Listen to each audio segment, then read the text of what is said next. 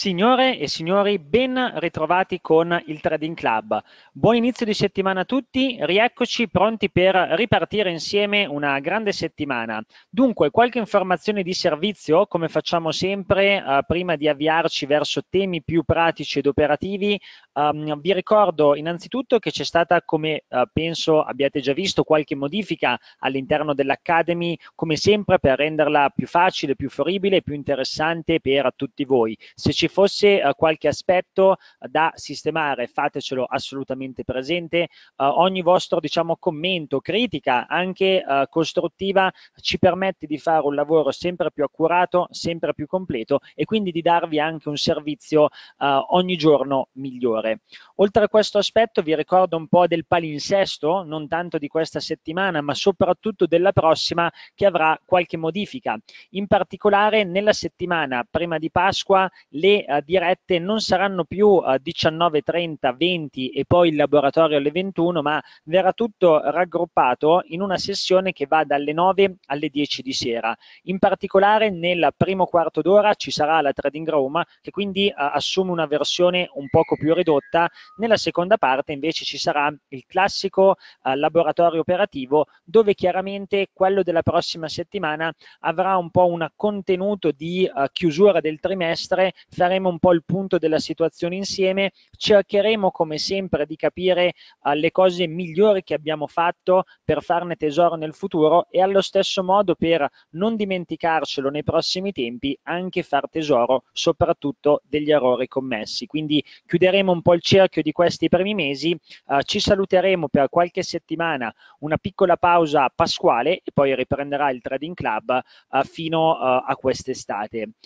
senza andare oltre con questi dettagli, li riprenderemo sicuramente nei prossimi giorni. Uh, nella sessione di oggi avremo Paolo che uh, deve farci vedere qualche sua azione, qualche chiusura, qualche presa di beneficio uh, per quel che riguarda l'azionario e il beta trading. Poi ci dedicheremo molto al settore petrolifero, sia in campo azionario, sia con le opzioni e anche con le materie prime, perché abbiamo visto che i prezzi sono in rialzo e fra poco andremo più nel dettaglio di tutto quanto. Uh, ciao Paolo, uh, ben ritrovato, a te la parola. Ciao Matteo, buonasera a tutti. Oggi andiamo a riprendere un po' il discorso con le nostre azioni. In particolare vi lascerò, come sempre, uno spunto operativo per continuare un po' a praticare con la tecnica del beta training che vi ricordo, per chi non fosse all'interno della sezione dei laboratori, eh, assolutamente l'invito è quello di, di, farlo in piattaforma simulata in demo. Eh, oggi però partiamo bene con, con, questa diretta perché andiamo a, a prenderci subito eh, un profitto eh, lo faremo su Medifast, che è un'azione che abbiamo inserito circa un mesetto fa, eh, ha fatto diciamo un periodo piuttosto laterale da quando siamo entrati noi, a parte un po' eh, gli ultimi giorni che ha avuto dei, um, dei forti rialzi. Abbiamo all'interno della nostra piattaforma 20 azioni, nella quale siamo andati a investire, investire con posizione long e eh, la scelta in questo caso di andare a chiudere eh, parte della nostra posizione è un po' per l'arrivo degli earnings che sono tra eh, più o meno un mesetto, se non mi sbaglio intorno al 2 maggio, eh, anzi confermo il 2 maggio e ehm, in questo motivo la motivazione appunto è questa, ovvero snellire un attimino la posizione, intanto incassarci comunque una, un discreto profitto, ma eh, con l'obiettivo poi di andare anche sugli earnings e vedere un po' come si muoverà appunto questo, questo titolo, ma entrando con una piccola posizione, eventualmente poi possiamo preventivare anche una, un inserimento di una stop loss Bosch prima dell'arrivo delle notizie e quindi andiamo un po' a, a vedere quello che accadrà appunto con le trimestrali. Quindi eh, se Matteo eh, nel mentre ci va a chiudere poi questa posizione, che così eh, vi dico anche super giù in un mesetto quanto abbiamo incassato a livello di, a livello di ritorno sull'investimento, perché allora chiudendo una posizione da 10 titoli, l'investimento a livello di margine è di 645 dollari. Eh, se tu Matteo la vuoi mandare anche direttamente direttamente a, a mercato, la chiusura, che così almeno eh, ce la, la sbrighiamo in maniera molto rapida. Ovviamente l'invito rimane sempre quello, ovvero che se dovessimo andare a chiudere eh, un trade con un prezzo midpoint, eh, sicuramente è molto più valida come chiusura. In questo caso, vabbè, giusto per lato dimostrativo, siamo andati a chiudere quindi questa posizione con 71.24 dollari che diviso il nostro margine di 645 fa un 11% in un mesetto. Quindi vedete che in questo caso lavorando in maniera direzionale sul titolo, ovviamente a livello di ritorno sull'investimento incassiamo, incassiamo molto di più rispetto a eh, una tecnica non direzionale come quella del beta trading. D'altronde bisogna un po' proporzionare anche il nostro portafoglio in base appunto a quello che è il mercato e chiaramente a quello che potrebbero essere anche i nostri ritorni a livelli mensili. Quindi qua perfetto, ne teniamo 10 e quindi vediamo un po' poi a ridosso degli earnings come ragionare su questo titolo. Eh, situazione piuttosto simile anche quella che ci ritroviamo su Union Bank Share che eh, ho posizionato come seconda azione per facilitare poi la vostra comprensione. Eh, questa era partita come un trade fatto in, in beta nella quale avevamo eh, allungato su Union Bank Share, avevamo shortato eh, Morgan Stanley. Da Morgan Stanley avevamo preso 10 dollari di perdita, quindi praticamente l'avevamo chiusa in pari, Qua, lasciandola un po' sproporzionata, quindi senza alcune protezioni, abbiamo atteso appunto un, un, rialzo, perché comunque a livello grafico avevamo visto che il titolo stava andando bene e vedete che proprio oggi è tornata a, a, a parità, è tornata in pareggio e eh, um, se Matteo anche ci aggiunge eh, i, um, alcuni studi su questo, su questo, titolo da file, trovi già il setup, um, vedi quello sopra la voce chiudi, eh, che così almeno lo carichi al volo, vai, so, vai, vai sotto stampa che così ce l'hai subito lì a disposizione.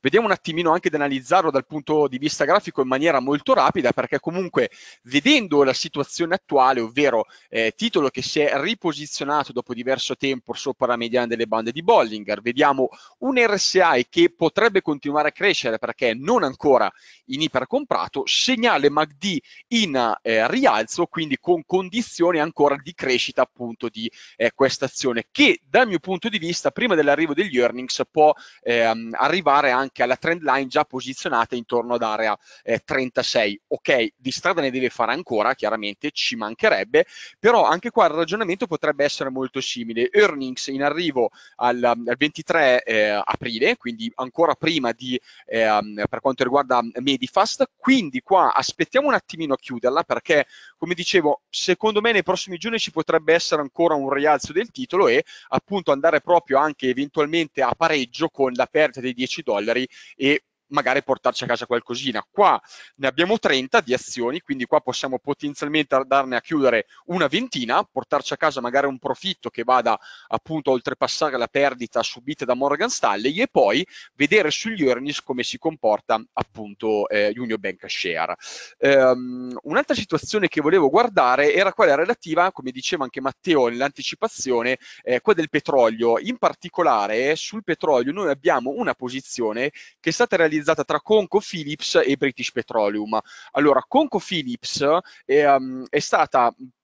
piuttosto, eh, come si può dire, um, maltrattata rispetto a, a, British Petroleum che eh, sembrava molto più forte, anche se comunque vedete che attualmente siamo al di là della nostra entrata, quindi siamo in profitto anche su ConocoPhillips. Abbiamo già portato a casa qua con un incremento della posizione eh, circa 44 dollari, attualmente è ancora sbilanciata, come vedete la posizione nella quale abbiamo più azione, più investimento dal punto di vista di ConocoPhillips rispetto a British Petroleum, però eh, se lo vediamo, oltre che dal grafico, anche vedete comunque British Petroleum sta salendo in maniera molto forte, dovuta chiaramente anche un po' alla crescita appunto del petrolio di cui dopo ci parlerà eh, Matteo, ma vedendo eh, lo spread in sé, che ho realizzato uno screenshot che vi volevo portare per eh, visualizzarlo tutto insieme, ehm, se Matteo ci dà una mano, vediamo che eh, lo spread è messo molto bene, cioè dopo eh, una situazione situazione di, eh, di iniziale eh, difficoltà,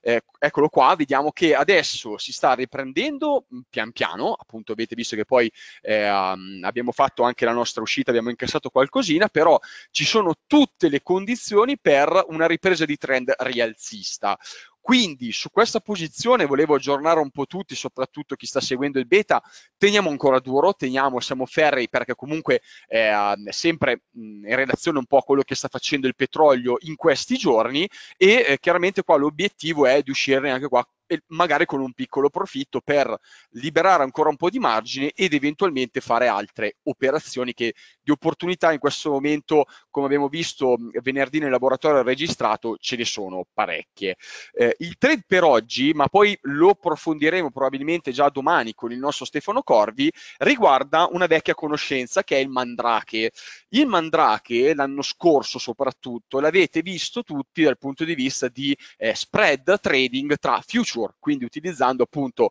eh, lo Standard Poor's e il Nasdaq. Anche qua ho preparato uno screenshot, eh, se Matteo ce lo, ce lo, va a mostrare un po' a tutti, e mh, diciamo che ragionando in un'ottica qua di beta trading, quindi prendendo come riferimento SPY e QQ come ETF, poi per chi non riuscisse a farlo con gli ETF ci sono sempre i CFD, come vi ripeto, c'è una bella opportunità di andare long su, su questo spread perché ci sono tutte le condizioni con un eh, RSI praticamente appena ripreso da un ipervenduto, con un incrocio MACD che si sta verificando proprio oggi e quindi con magari anche una bella ripartenza per quanto riguarda questo spread. Quindi io diciamo, ho programmato eventualmente un ingresso con dei titoli spia, proporzione eh, 5 SPY, 8 QQQ, giusto per vedere un attimo come si potrebbe compro- comportare appunto questo spread nel corso dei giorni successivi, però come vi dicevo, insomma, domani abbiamo anche a disposizione nella trading room il nostro Stefano, quindi chiediamo eventualmente a lui un parere anche dal punto di vista di future e di volumi che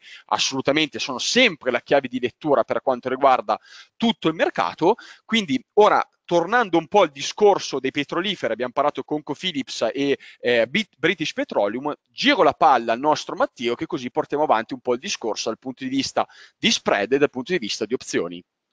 Ottimo, ottimo, grazie Paolo. Uh, intanto, visto che c'eravamo su questo grafico, ti volevo uh, segnalare anche una divergenza uh, tra diciamo, i, i minimi um, dello spread e i minimi dell'RSI, quindi un altro segnale rispetto a quello che hai detto anche tu di ripartenza ci potrebbe in effetti aiutare. Poi lo vediamo meglio con l'aiuto di Stefano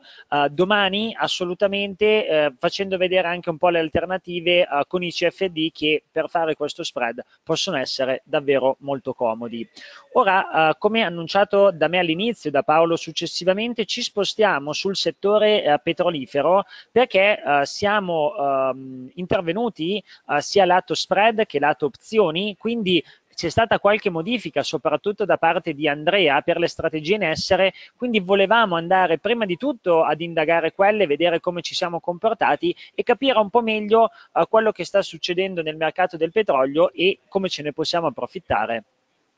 Esatto, esatto Matteo, ben ritrovato e ben ritrovati a tutti quanti in questa nuova settimana perché abbiamo fatto un intervento sia per quanto riguarda il petrolio che per quanto riguarda uh, SPY, quindi l'S&P. Poi i dettagli, diciamo, di come siamo entrati, siamo usciti, prezzi e quant'altro, li vediamo come sempre domani sera nel laboratorio operativo, ma vi dico subito non preoccuparvi che di sostanziale non è cambiato niente. Abbiamo cambiato la nostra visione rispetto proprio eh, alle operazioni che abbiamo posto in essere inizialmente sul petrolio. Del resto, come si dice, sono solamente due le persone che non cambiano mai idea, gli stupidi e i morti. Noi, visto che morti non siamo, stupidi a volte, ma fortunatamente non sempre, abbiamo cambiato l'operazione sul petrolio. Quindi se andiamo un attimo a dare un'occhiata alla, alla pagina proprio delle opzioni, vediamo un po' anche questa, questa novità. Eccolo qua, uh, un poco più sotto, adesso qua stanno iniziando un po' ad aumentare anche le operazioni chiuse. Eh, eccolo qui che cosa ci è eh, rimasto in piedi? Fondamentalmente ci è rimasto in piedi un bull call questo caso esatto, 67 con 68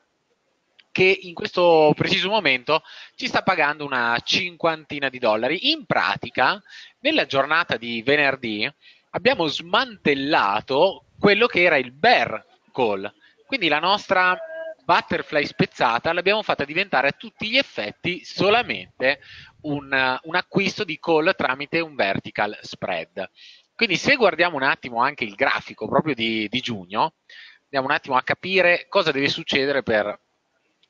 farci, eh, diciamo, gioire. Allora, mh, mh, fondamentalmente come detto, già quando il mercato, vedete, aveva fatto quella sparata sopra i 60 piuttosto decisa, avevamo capito che non c'era più tanto eh, trippa per gatti, avevamo diciamo, eh, invertito un po' la nostra operazione, quindi il bear call l'avevamo coperto, come detto, col butterfly eh, spezzato, quindi con un acquisto di call. In questo momento abbiamo un acquisto di una call a 67 e la vendita di un'altra call a 68. Quindi per fare questa operazione eh, siamo andati noi in debito nei confronti del mercato e abbiamo pagato noi 170 dollari. Ora, se a scadenza, quindi da qui alla scadenza di giugno, il petrolio dovesse chiudere al di sopra di 68, il nostro investimento di 170 dollari potrebbe diventare un profitto di circa 830 dollari. Quindi insomma, mh, davvero una buona possibilità, considerando che siamo già a 64, andare a 68 è comunque un buon movimento però diciamo che il grosso è stato fatto perché si parla più o meno di un 6-7% per arrivare anche noi al nostro massimo target. Ovviamente non è necessario per l'appunto arrivare fino a là, ci possiamo anche accontentare di un poco meno, perché comunque, ripeto, l'investimento è abbastanza contenuto rispetto al nostro portafoglio, quindi poi quando diciamo c'è da gestire i profitti è sempre un bel problema. Il problema grande è quando dobbiamo invece gestire le perdite. Comunque, giusto per dirvi che con il bear call precedente, con un po' di magia, nel senso lavorando un po' di bid ask nella giornata di venerdì, siamo riusciti a uscire in profitto, cioè da un'operazione dove stavamo perdendo più o meno 60-70 dollari, lavorando un po' di bid ask siamo comunque riusciti a uscircene con un, con un buon profitto che ovviamente ci fa stare più tranquilli su quest'ulteriore operazione. Se qualcuno per caso uh, ha l'operazione originaria non deve assolutamente fare niente perché va va benissimo anche, anche quella senza problemi. Poi sempre per quanto riguarda diciamo, l'operatività in opzioni, ehm, è scaduta l'operazione sullo yen nella giornata di venerdì 5 aprile. Il nostro bull put ci ha pagato, eccolo lì, 70 dollari per ogni contratto con un margine di circa 300. Come vedete il ritorno sull'investimento è stato superiore al 20% in circa 45 giorni, quindi un'altra buonissima eh, operazione anche per quanto riguarda lo yen. E, e poi domani insomma interverremo, andremo anche a vedere un po' eh, come ci siamo mossi per quanto riguarda l'S&P 500 tramite SPY e qui mi volevo riallacciare un po' a quello che diceva anche, anche Paolo per quanto riguarda l'operazione fra l'S&P 500 e il Nasdaq tramite eh, gli ETF perché nelle prossime settimane per l'appunto ci sarà diciamo il, periodo caldo per quanto riguarda gli earnings che anche in termini di mandrà che in passato abbiamo visto quanto può pagare bene se per l'appunto riusciamo a intervenire anche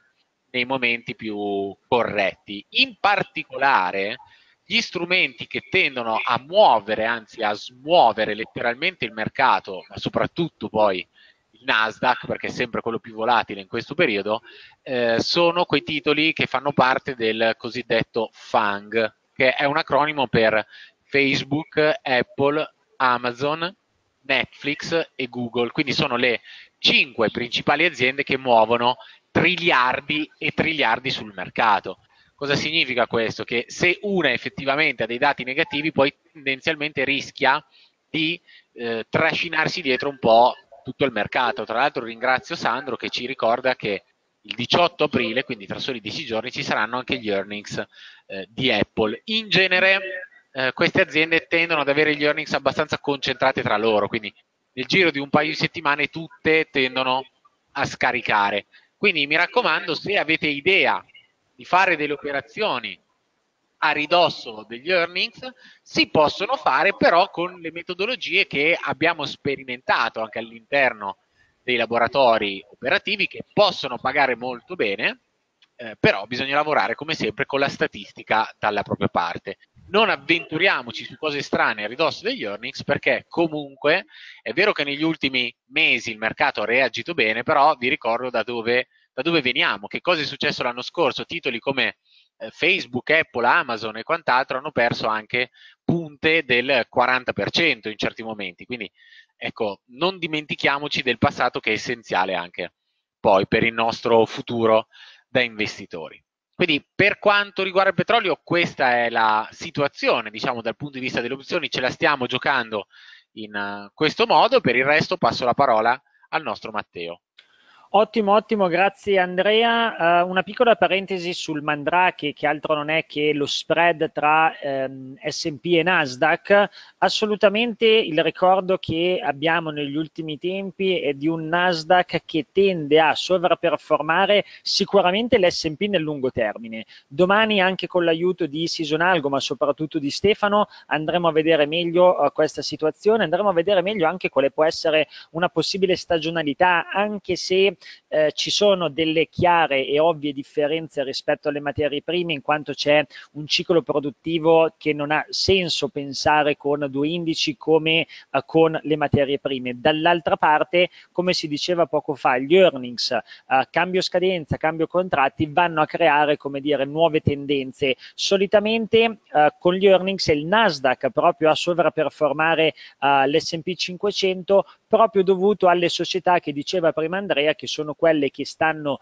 più tirando negli ultimi anni e anche negli ultimi periodi, però attenzione, non avventuriamoci in questo caso come in una scommessa perché è successo nel passato, perché comunque gli earnings uh, incorporano un certo grado di incertezza e quindi uh, non prendiamoci rischi di questo tipo. Dall'altra parte, uh, nei prossimi giorni capiremo meglio come comportarci e se c'è qualche aspettativa da sfruttare particolare. Tornando ora nel campo delle materie prime, in particolare nel uh, petrolio, uh, secondo me è fantastico quello che hai fatto vedere prima Andrea, uh, perché Uh, va ad unire più uh, situazioni uh, di mercato. Mi voglio spiegare meglio. Innanzitutto quello che hai detto, il cambiare idea è una cosa non semplice eh, nella vita eh, e sicuramente anche nei mercati perché a volte ci si va un po' ad ancorare a certi pensieri, eh, ci rimangono in mente e facciamo più fatica chiaramente poi a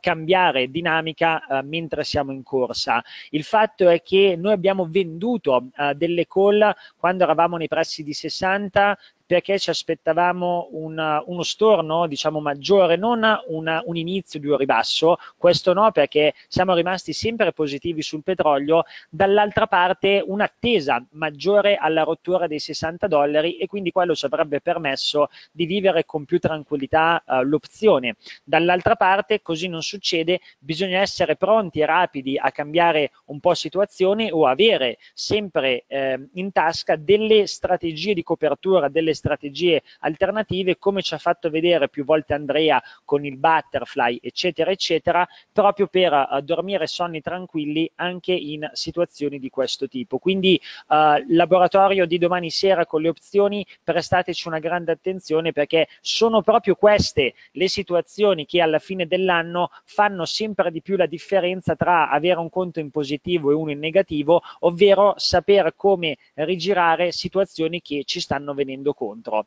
Uh, andando avanti, sempre nel campo petrolifero, abbiamo visto che non solo il petrolio ma anche la benzina uh, sta continuando a salire. Eh, una previsione che avevamo già ampiamente fatto nei giorni scorsi, noi uh, siamo rimasti in questo caso lunghi sul petrolio per dare anche una certa come dire, protezione al mio spread che ho sulla benzina. a me sarebbe più piaciuto un investimento diretto proprio su questa commodity, su un bull call o la l'acquisto di un future, ma giustamente eh, Andrea anche in termini di costi e ricavi per quel che riguardano eh, premi delle opzioni ne ha tenuto conto. Quindi ci siamo mossi in questa direzione, eh, così un minimo di hedging viene fatto. Um, però ecco, il trend pensiamo che mh, sia ancora abbastanza solido, magari non continuerà a razzo, ma rimane sicuramente un'aspettativa positiva. L'eting oil, che è il secondo derivato del petrolio, anche anche lui si sta comportando bene, eh, sicuramente la dinamica è meno rialzista eh, dei precedenti, eh, credo dovuto più che altro ad una domanda stagionale, ovvero la benzina tende ad essere acquistata molto in questo periodo uh, per la cosiddetta driving season, stagione della guida. L'heating oil non viene acquistato esclusivamente d'inverno essendo un bene da riscaldamento, ma solitamente la sua stagionalità inizia più o meno a metà estate, luglio-agosto è il periodo dove uh, viene acquistato di più per approvvigionarsi durante l'inverno. Quindi non essendo ancora, come dire, il periodo della sua massima domanda, sta uh, performando probabilmente peggio degli altri due comparti, però come possiamo vedere la dinamica, la tendenza è piuttosto simile. Rimanendo eh, nel campo del petrolio, ci tenevo a farvi vedere qualcosa di, uh, di interessante. Eccoci qua, ci spostiamo un attimo su um, Season Algo così capiamo anche un po' um, come riconoscere uh, certe dinamiche ma soprattutto uh, come sfruttare queste nuove uh, situazioni da un punto di vista operativo non solo per le opzioni ma anche con lo spread. Ora senza complicarci tanto la vita su un grafico del genere guardiamo solo la linea nera, solo la linea nera, la blu e la rossa non ci interessa, ci creano veramente solo confusione. Questa rappresenta la linea nera la struttura termine per quel che riguarda il petrolio, cioè all'aumentare della scadenza possiamo vedere come aumenta il prezzo. Quindi la curva è inclinata, diciamo, positivamente. In questo caso siamo in una situazione di contango perché eh, con l'aumentare della scadenza aumenta anche il prezzo e avviene, diciamo, per tutto il 2020, ma continua anche per gli anni successivi. Ora, eh, questa cosa però non riguarda la struttura termine del petrolio eh, attuale, ma quella di eh, gennaio. Al primo gennaio eravamo in una situazione del genere, quindi in contango. Uh, perché venivamo anche da uh, un periodo diciamo di ribasso comunque del prezzo del petrolio, poi uh, la tendenza ha incominciato uh, sempre di più ad invertire. come possiamo vedere ha incominciato proprio a fine dicembre e quando c'è una tendenza piuttosto positiva e continuativa i prezzi da un contango, non è sempre una cosa detta e scontata, si possono spostare alla backwardation. Vediamo ora uh, la situazione da gennaio a febbraio. A febbraio, uh, come possiamo vedere, sì, c'era ancora uh, contango, ma diciamo fino al 2020, o meglio fino all'inverno del 2020, perché già dalle scadenze successive, quindi quelle di eh, diciamo eh, ottobre, novembre, dicembre, è incominciata un'inversione. Quindi eh, che cosa succedeva? La eh, curva non era più inclinata positivamente, o meglio, solo per una prima parte, poi negativamente. Vediamolo poi a marzo, come possiamo vedere eh, la pendenza aumenta sempre di più, arriviamo ora alla situazione attuale, siamo quasi completamente in backwardation. Uh, come vedete dal uh, primo gennaio, quindi non è che ci ha messo tantissimo, ma nel giro di un uh, 3-4 mesi uh, siamo passati da un pieno contango a quasi una completa backwardation. Rimane ancora un po' di contango per le scadenze uh, di brevissimo termine, quindi uh, maggio, giugno, luglio, però già ehm, da agosto in poi cambia la pendenza e quindi uh, si è passati un po' alla backwardation. Uh, vediamo se uh, questa pendenza continuerà e quindi si passerà completamente anche nel breve termine alla backwardation. tutto questo per dire cosa? Per dire che sicuramente possiamo pensare di sfruttare questa cosa, non andrei pertanto sulle scadenze più vicine nel tempo, ma mi sposterei un po' più in là. questo è il petrolio gennaio-febbraio 2020 2020, come possiamo vedere la tendenza è rialzista, ma anche la stagionalità è rialzista. Ma facciamo il tifo per un intensificarsi uh, della backwardation, un po' come c'è stato l'anno scorso. Uh, siamo arrivati in effetti a prezzi un po' superiori, ma poi, come possiamo vedere, quasi sempre, quasi sempre c'è un rientro al contango e se um, prendiamo come dire un po' di tempo con scadenze lontane potremmo avere una maggiore facilità per appunto puntare a questo rientro ma con un minimo di tranquillità. Una cosa un po' più vicina nel tempo la possiamo vedere anche sul Brent che diciamo è il petrolio ehm, europeo, del Mar del Nord o comunque del Medio Oriente, poi eh, specificheremo meglio anche queste differenze. La situazione è simile, c'è una tendenza rialzista, una stagionalità ancora rialzista, ma come possiamo vedere da maggio ci dovrebbe essere un'inversione. Anche qua ci troviamo già in backwardation, siamo vicini ai massimi dell'anno scorso, ma neanche tanto distanti ai massimi precedenti, quindi con un poco di pazienza possiamo andare a sfruttare uh, questa uh, situazione. Uh, quindi qua un po' um, tutto quel che riguarda il petrolio Uh, per la benzina uh, questo era uno spread in alternativa a un uh, bull call, a un acquisto di un future per proteggersi un po' sullo spread attuale. Quindi andando long e non più short siamo andati a prendere in questo caso come esempio novembre-dicembre del 2019. Vi ricordo anche prima di concludere la sessione che domani c'è un altro report sulle materie prime agricole molti nell'ultimo periodo. Uh, le news maggiori le abbiamo avute il 29 di uh, marzo, vediamo domani se c'è qualche cambiamento importante, non credo, però uh, mai dire mai, stiamo un po' a vedere. Quindi se alle ore 18 vedete un po' di volatilità su mais, grano, soia, può essere dovuto a questa notizia.